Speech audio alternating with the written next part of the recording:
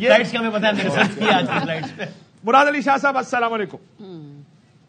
कैसे आप? बिल्कुल अच्छे मुराद अली शाह साहब am I talking to the next chief minister of Sindh I think you ask me this question the other day other day I told I responded कि हमारे यहाँ कोई कैंडिडेट नहीं होता। पार्टी डिसाइड करती है कि कौन होना है। There are there will be about 115 candidates for chief ministership और उनमें से पार्टी डिसाइड करेगी कि कौन होगा। सर अगर इतने तो एक मेरा नाम भी डाल दें। नहीं आप अगर इलेक्टेड होते हैं नहीं है नहीं मैं आपको जवाब देता हूँ इसका। अगर आप इलेक्टेड पाकिस्तान पीपल्स पार्टी के एमपी होते तो आप बिल्कुल एलिजिबल सर नाम डाल दें इस बुनियाद पे रद्द कर दीजिएगा कि मैं एमपीए नहीं हूँ। 115 116 हो जाएँगे सर। दिल रखने के लिए मेरा दिल रख ले चले। समझ गए चले जी। सर ये बताएँ कि ज़ाहिर हुकूमत साजी का एक सिलसिला शुरू है। आज पहली खबर आई थी कि मुलाकात मुतवक्को है जरदारी साहब और बिलावल साहब जा रहे जाती उमरा, और फिर कहा गया कि मुलतवी हो गई है। को जानते हैं कि किस लिए मुलतवी हुई है? क्या वजह वजह बनी इसकी? मुझे मुझे नहीं पता कि आज की मुलाकात थी स्केड्यूल्ड लेकिन मुझे इतना ज़रूर पता है कि बिलावल भुट्टो जरदारी साहब ने ये कहा है और जो हमारा पार्टी की पॉलिसी मौकफ है कि पार्टी की सेंट्रल एग्जीक्यूटिव कमेटी ने डिसाइड किया था कि बिलावल भुट्टो जरदारी साहब हमारे प्राइम मिनिस्टर के कैंडिडेट होंगे। तो हम हुकूमत बनाने के लिए अभी तक इजाज़त सीईसी ने दी है लीडरशिप को।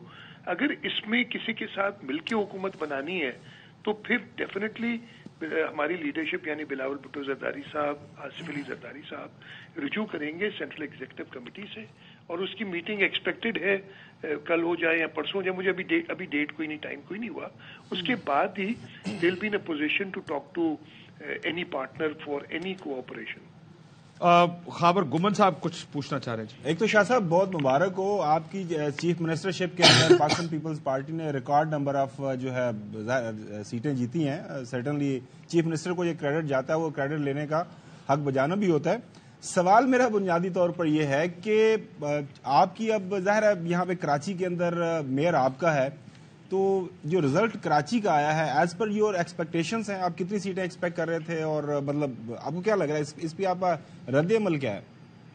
सबसे पहले तो खबर साहब थैंक यू वेरी मच लेकिन ये क्रेडिट मेरा नहीं ये क्रेडिट पाकिस्तान पीपुल्स पार्टी के हर वर्कर का है जिसने खास तौर पे पिछले फ्लड में चेयरमैन बिलावल भुट्टो जरदारी से लेके हमारा एक ऑर्डनरी वर्कर लोगों के साथ रहा और मैंने शायद आपके प्रोग्राम में ही कहा हो, लेकिन मैंने बड़ी, एक प्रेस कॉन्फ्रेंस तो मुझे याद है अपनी, जो I am sure A R Y पे भी चली होगी और ए आर वाई के कॉरेस्पॉन्डेंट थे उधर। मैंने कहा था कि जी, कराची और हैदराबाद की दो सीटें निकाल के आउट ऑफ़ 61 37 सीट से बाकी रूरल सिंध में। और ये 37 की 37 हम जीत रहे हैं।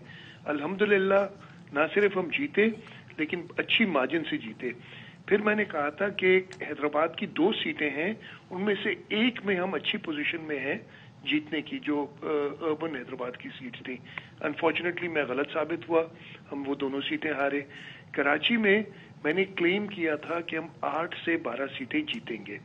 और उसके रीजन थे, और उस बेसिस पे मैंने कहा था कि ओवरऑल टैली हमारी होगी बिटवीन 45 एंड 50 अनफॉर्चुनेटली मैं गलत हुआ। एक कम रह गया। 44 सीट्स हमारी आई।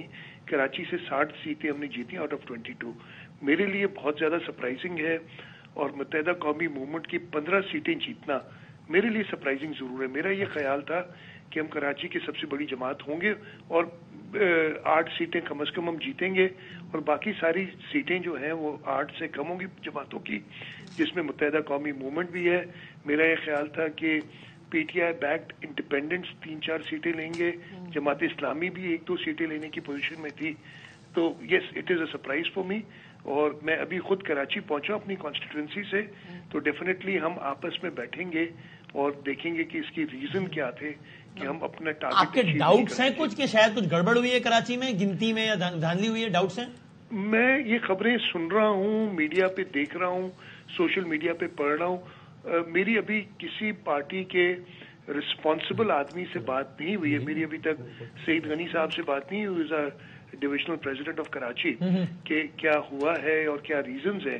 बट मैंने जैसे कहा मैं ये सुन रहा हूँ without knowing the actual facts I can't comment कि ऐसा कुछ हुआ है। चैलेंज करेंगे रिज़ल्ट ये वाले हाँ, कराची तक किसी हल्के में जिसमें चैलेंज करना हो उसके ऊपर कुछ हतमी आप लोगों ने फैसला किया? कुछ फाइनल हुआ है? मुराद साहब? देखिए काफ़ी सीट्स ऐसी हैं जो मैंने देखी हैं जिसमें हमारा खासतौर पर प्रोविंशियल असेंबली की जिसमें हमारा मार्जिन बहुत ही कम है फ्रॉम द विनिंग कैंडिडेट और उस पर डेफिनेटली वो कैंडिडेट की अपनी भी कोशिश होती है कि उसको चैलेंज किया जाए। डिफरेंट मराइल हैं। पहले मरहले में आरओ के पास चैलेंज होता है फिर एक मरला होता है कि इलेक्शन कमीशन को भी आप अपील कर सकते हैं और तीसरे मरहले में आप ट्राइब्यूनल में जा सकते हैं। तो आई एम श्योर जो क्लोज सीट्स होंगी और उनके पास अगर वैलिड रीजंस होंगे चैलेंज करने के तो वो कैंडिडेट ज़रूर चैलेंज करेंगे। मुराद अली शाह साहब शाह जो आपने कहा कि सरप्राइज़ आपको मिला है काफ़ी जगहों पे कराची में स्पेसिफिकली अगर आप हमें से हमें बता सके कौन सी ऐसी निशिस्तें हैं जिसपे आपको ज़्यादा सरप्राइज़ सरप्राइजली लॉस्ट और surprisingly one the others one and they lost once you lost जिसके ऊपर हाँ, आपको बहुत आपको सरप्राइज़ मिला है। हैरानगी the one that we lost जी जी। आप कह रहे देखिए दो सीट्स जो मेरा ख्याल है हमें जीतनी चाहिए थी। एनए 240 अब मुझे नंबर याद नहीं रहते 235 थर्टी फाइव कराची ईस्ट की सीट है जिसके नीचे पीएस 97 और पीएस 98 है। अनफॉर्चुनेटली हम ये तीनों सीटें हारे हैं। हमें देखना पड़ेगा क्यों हारे हैं। पीएस 97 हम कुछ सौ वोटों से हारे हैं। और पीएस 98 भी अगेन मुझे एग्जैक्टली नहीं पता इतना फ़र्क नहीं है। तो मेरा ख्याल है कि एनए 235 ऐसी है एक सीट जो हमें जीतनी चाहिए। ओनली एनए 244 है। जिसमें हमारे कैंडिडेट थे बर साहब और उसके नीचे जो सीट थी पी एस एक सौ सोलह और पी एस एक सौ अठारह। अनफॉर्चुनेटली नहीं एक सौ सोलह हम जीते हैं और एक सौ अठारह हम हारे। तो ये सीट्स भी जो N A two forty four है ये हमें जीतनी चाहिए थी। तो ये है जो हमारी किवाड़ी की एक सीट थी हमारे ख्याल से हमें जीतनी चाहिए थी। और उसकी एक तो हम जीते हैं कादिर पटेल वाली जिसपे कादिर मंदो खेल थे।